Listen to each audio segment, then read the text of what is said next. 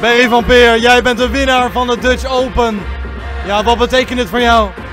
Ja, eigenlijk gewoon alles. Het is het grootste toernooi ter wereld. Als je dat wint, ja, dan, ja, dan word je eigenlijk gewoon koning. Ja, ja behalve hoor, maar ik bedoel, dit toernooi is zo moeilijk om te winnen.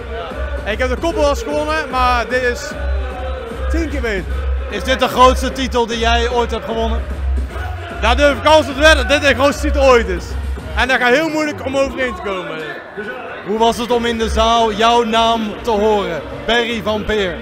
Ja, fantastisch natuurlijk. Heel veel uh, Nederlandse sponsors natuurlijk. Ja, en, ja, de finale begon met heel veel Barry van Peer. En ik denk, nou, ja, leuk.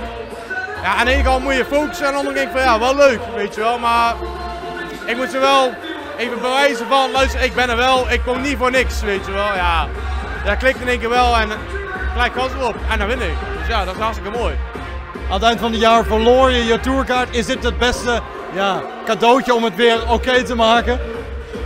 Ja, ik ga nu lekker, dus uh, wat, wat, wat, is er mis aan? Eigenlijk niks hè.